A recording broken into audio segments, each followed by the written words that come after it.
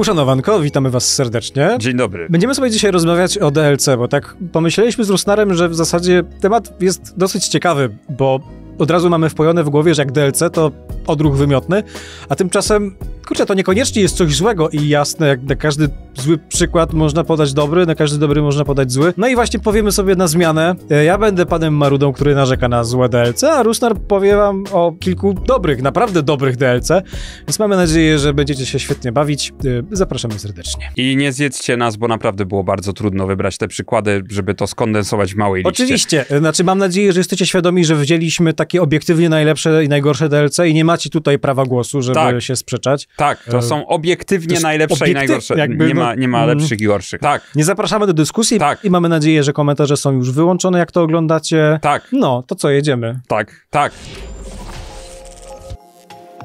Tak. Na start, zacznę od marudzenia. Myślę, że wszystkim się to spodoba. Chciałbym powiedzieć o tym, co kiedyś wywołało taką ogromną kontrowersję. I było nie do pomyślenia, że kupujesz grę i jasne, były dodatki, były rozszerzenia, jakieś takie expansion paki, gdzie kupowałeś drugie pudło z grą i miałeś 20 godzin więcej rozgrywki, jakąś nową kampanię, 30 nowych postaci, ale przyszła Bethesda w pewnym momencie i powiedziała hej, chcecie te skórki dla konia? Tylko 5 dolarów, nie? Jakby co, nie stać was? I wtedy się wszystko zaczęło. I wtedy się zaczęło, tak. I zaczynamy od tego być może oczywistego przykładu, trochę dlatego, żeby właśnie pokazać, jaki to kiedyś był skandal, jakie to było nie do pomyślenia i jak bardzo wszyscy krzyczeli o tym, że to, to nie ma szans, to się nie przyjmie, gracze nie są tacy głupi. Tymczasem Ale z dzisiejszej perspektywy to nie był taki zły ruch porównując do innych rzeczy, które mamy na tej liście. Po prostu historycznie miał największy wpływ na mikrotransakcje w grach i na to, jak podchodzimy do DLC dzisiaj. Więc faktycznie dobrze, że o tym wspominamy od razu, bo naprawdę to była gruba akcja kiedyś, a teraz to jest normalne. to pokazało po prostu nagle, mam wrażenie, wszystkim twórcom, że mogą dodatkowo jeszcze monetyzować swoje gry po premierze jakimiś mniejszymi dodatkami, ale kwestia, co z tą wiedzą zrobili poszczególni deweloperzy, no to już właśnie to jest bardzo dobre narzędzie, ale też jednocześnie bardzo potężna broń, więc Znaczy, monetyzować można, e, wiadomo, że można monetyzować grę po premierze, okej, tylko niech dadzą coś, co jest warte swojej ceny. oczywiście. A nie polega na tym, że wejdą sobie w Painta i zmienią jedną teksturę, nie wiem, mogą ją nawet ściągnąć z neta, wrzucą i sprzedają to na przykład za 10 dolarów. To na tym to polega. Otóż to. No i właśnie y, stąd... Y, y, nie, nie wiem, co chciałem w zasadzie powiedzieć. No, generalnie tak to zazwyczaj wygląda, jak, jak biorę się za nagrywanie czegoś takiego. No, to co? Jeszcze raz. Nie no, No właśnie, dobre przykłady. Je- Jednym z takich najlepszych moim zdaniem przykładów jest oczywiście wspaniałe, na zawsze w moim serduszku, cieplutkim Phantom Liberty. To jest e, absolutne arcydzieło dla mnie, jeśli chodzi o DLC. Jest wykonane naprawdę wspaniale, szczególnie Idris Elba, który ja wolę go nazywać Big Dris, e, czyli jego nazwę DJ-ską używam. No jest po prostu wspaniałe. Jest ta, ta historia, która tam została skondensowana w zasadzie w takiej małej historii króciutkiej, jest moim zdaniem nawet częściowo lepsza niż główna fabuła gry. Bardzo kontrowersyjny statement, ale naprawdę była No. wspaniała do tego stopnia, że wszyscy kłóciliśmy się, która opcja jest lepsza, czy Songbird, czy właśnie Idris Elba, który jest super badassem i e, słucha e, techniawy. Właśnie, kurczę, Phantom Liberty to jest, to jest też jedna z moich ulubionych historii. To jest taki bardzo fajny comeback twórców, którzy, którzy chcieli się. Nie mówię o korporacji jako takiej, jako CD Projekt, taki moloch troszeczkę, tylko o tych, jak sobie to rozbijemy, że to jest grupa, dosyć duża grupa, ale jednak grupa pojedynczych ludzi, którzy naprawdę chcieli trochę się zrehabilitować, pokazać, że potrafią Tak. i, i to, mów- mówisz, że to nawet lepsze od, od oryginału, ale kontrowersyjne stwierdzenie, ale wydaje mi się, że spokojnie do wybronienia. I Ja się zastanawiam, czy one nie są na, po prostu na tym samym poziomie i to jest No. świetne. To żeby to jakoś skontrować, bo znowu troszeczkę wy, wybielasz DLC. Być może pamiętacie, że była taka gra The Saboteur. Saboteur była generalnie taką bardzo fajną perełką, bo o jasne, dzisiaj nie zrobiłaby takiej furory, bo to otwarty świat, wyzwalanie dzielnic, ale sam klimat tego, że jesteśmy w okupowa- okupowanym Paryżu, te wyzwalane dzielnice nabierają kolorów, w ogóle ba bawienie się kolorystyką w tej grze, no coś, coś pięknego. Generalnie uważam, że gra została bardzo na swoje czasy niedoceniona. Można jednak w bardzo prosty sposób taką bardzo urokliwą grę zaprzepaścić, na przykład wydając, pożal się Boże, DLC, którego nazwy po prostu nie, nie spamiętam. Nie ma, nie ma sensu, żebym ja wyciągał teraz telefon i, i sprawdzał. Szkoda moich siły, szkoda prądu, żeby marnować na coś takiego. Bo zapamiętałeś co innego, prawda, Kuba? Tak. Co innego zapamiętałeś. Yy, tak, zgadza się. Oczywiście DLC reklamowano samochodem wyścigowym, ale to nie na tych zderzakach opierano cały marketing tego dodatku. No to jest przykre i może to niesmaczne, że ja z tego żartuję, ale no to w zasadzie można byłoby podpiąć pod cytat oficjalnej kampanii marketingowej. Otóż dodawano klub nocny do, do, do Saboteur, w którym można było brać udział w minigierkach, co no okej, okay, jak ktoś chce wydać kilka dolców, to jasne, ale głównym jakimś takim punktem programu było to, że pojawiały się w tym klubie nocnym tancerki, którym e, zdejmowano cenzurę z części ciała, których nie mogą oglądać osoby poniżej 18 roku życia. Nie mam z tym jakiegoś większego problemu jako takim. No okej, okay, twórcy uznali, że to jest coś, co w jakiś sposób wzbogaca ten świat. Okej, okay, brawa dla nich, aczkolwiek upłycanie tej gry do tego momentu jest... To trochę tak, jakby twórcy Wiedźmina jedynki zrobili DLC, w którym dodają karty w jedynce, w sensie te takie hmm. karty, które dostaje się po spotkaniach z trzecim mieczem Geralta. Bo wiecie. No i teraz ja zacznę bardzo, bardzo, bardzo obszerny temat, który będzie bardzo trudny do omówienia, bo mamy tutaj z Kubą, no nierozbieżne opinie. Są te same opinie, ale po prostu będziemy gadać o tej samej grze i pozytywnie i negatywnie, w zasadzie o dwóch grach, bo są to Mass Effecty. Mass Effecty dwójka i trójka, które miały zarówno świetne przykłady DLC, w sensie to były naprawdę absolutnie wspaniałe DLC. Do dzisiaj, jak przypominam sobie sceny z nadzorcy, to po prostu mnie, mam jakieś dreszcze na ciele, no dosłownie mam autentycznie teraz dreszcze na ciele, jak przypominam sobie te kalkulacje, które wykonywał David, David on chyba był, tak, na końcu? Tak, Archer chyba, nie? Arch, na pewno Archer. Mhm. I na końcu wykonywał te kalkulacje. Jezu, jakie to było bolesne. Oczywiście mieliśmy Cytadelę w trójce. Oczywiście mieliśmy Lewiatana, który no, jest kontrowersyjny temat, bo w zasadzie tam były części historii, które powinny znaleźć się w fabule głównej, bo nie wiedzieliśmy, że istnieje coś takiego jak Lewiatani, którzy są w zasadzie żniwiarzami i w ogóle to powinno być częścią fabuły. Ale wracając do pozytywnych przykładów, żeby mnie tak, zabierał roboty ja Kubie, jestem marudą. to naprawdę i jeszcze Omega I naprawdę było masa, masa, masa pozytywnych przykładów DLC do Mass Effecta dwójki i trójki. Praktycznie wszystkie DLC, DLC były super. Nie liczę rzeczy typu dodatkowe karabinki, żniwiarzy, czy co to tam było, bo to są pierdółki. I też nie liczę jazdy młotem. Hammerhead. O Jezu, czemu ja to nie pomyślałem? No to masz teraz no. akurat idealny moment, żeby o tym powiedzieć tak, też. Tak, no bo właśnie mamy te kwiatki i ja, ja się w pełni zgadzam, że Mass Effect dwójka miał tych DLC po prostu na kopy, DLC e, w trójce już było chyba trochę mniej, ale one naprawdę w większości trzymały bardzo wysoki poziom, więc nie wiem, czy pamiętacie Arrival do Mass Effecta 2. No, Szczerze powiedziawszy, jeśli chcecie wydać trylogię i macie już tą drugą część, jest całkiem dobrze przyjęta, dobrze zakończona, macie plany już na trójkę, to czy myślicie, że dobrym pomysłem generalnie byłoby kazanie płacić ludziom za DLC, które de facto jest pomostem do części trzeciej, no to raczej, no nie wiem, no na zdrowy rozsądek nie wiem, może jestem tutaj w mniejszości, ale no nie wydaje mi się to najmądrzejszym ruchem. Znaczy, y, widzowie stwierdzą, że oczywiście zgadzają się z tobą, niestety BioWare ma dokładnie odwrotną opinię, ponieważ tak. wykorzystali to trzy razy, mhm. chyba trzy razy,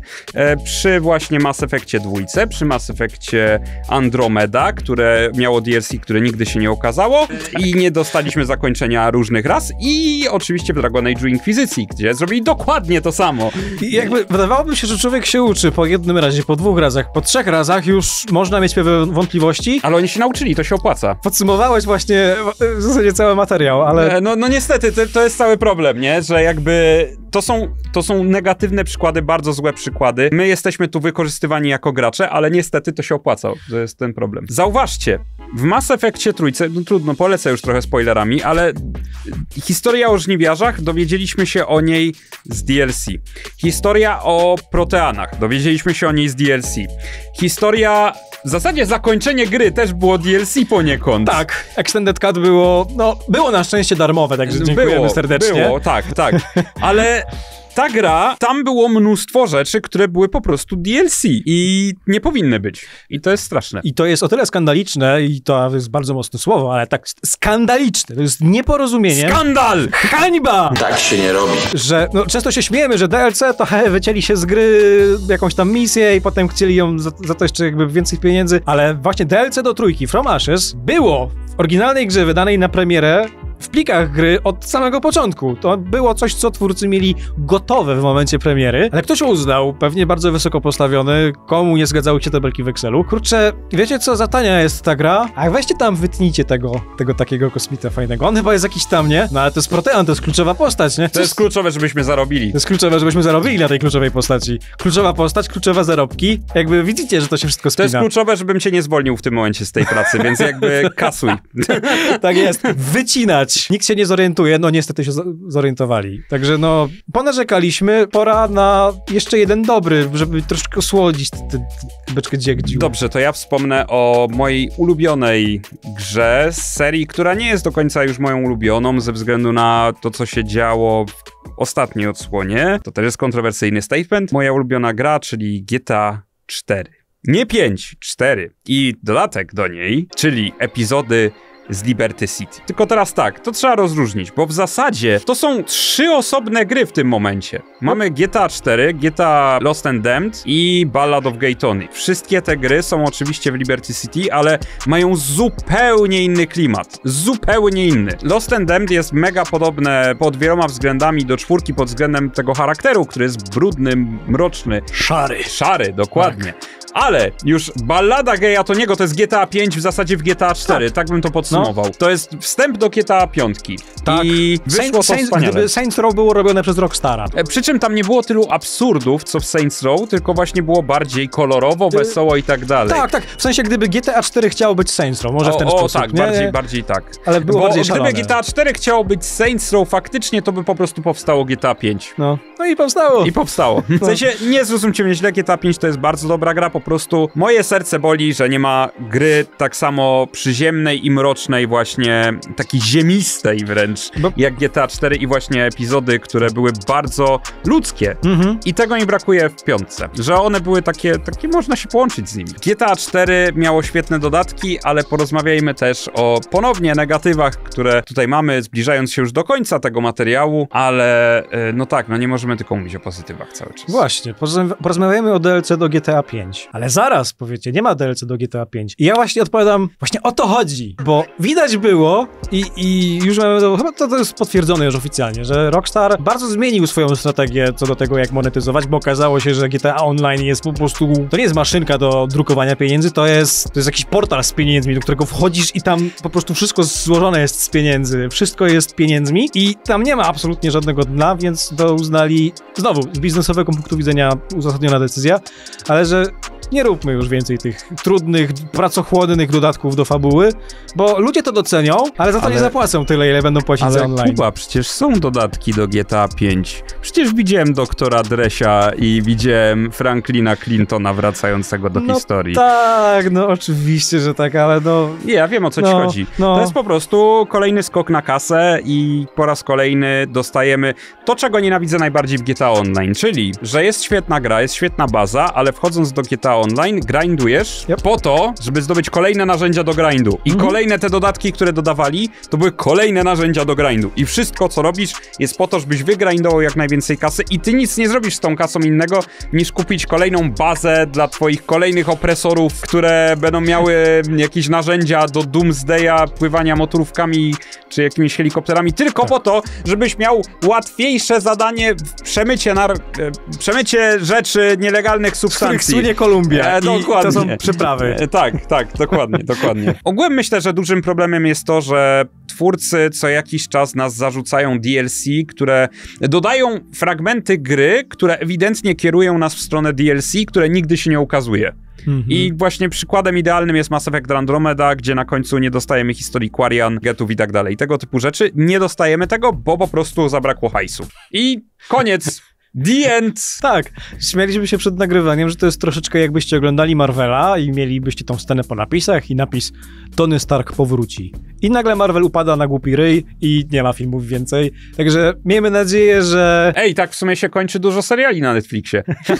No tak, tak. Zrobili, z Andromedy zrobili serial Netflixowy. Z góry założyli, że to się tak świetnie sprzedaje, że ludziom się to tak spodoba i tak będzie fantastycznie przyjęte, że a, teraz spokojnie, to się tam... Może nawet nie mieli tego... Oni, słuchaj, oni może nie mieli tego tego dokończonego w ogóle, tylko to się tam zateguje. Zateguje się, tak, tak. Tymczasem tak. jednak nie. To kończąc na pozytywnej nocie, oczywiście mm, świetnym przykładem, o którym nie, nie powiem za dużo, bo nie jestem jakimś mega fanem tych serii tego typu, ale oczywiście jest Elden Ring i Shadow of e, of Tree. Zawsze zapominam, Shadow że to jest of, of Tree. Tak, tak, tak, generalnie trzeba to podsumować w ten sposób, że nawet my, osoby, które nie są fanami Elden Ringów, wiedzą, co to jest Shadow of Tree. Jest tam masa nowego kontentu, nowa mapa, nowi bossowie, nowe bronie. Wszystko tam jest dodane za chyba całkiem przyzwoitą cenę i przede wszystkim jest tam widać napracowanko i tak jak mówię, to się niesie po świecie gier, nawet jeśli nie jesteś fanem Souls-like'ów. Jaka nam się klamra zrobiła z tego, słuchaj, że zaczęliśmy od dawnych czasów, kończymy na dawnych czasach,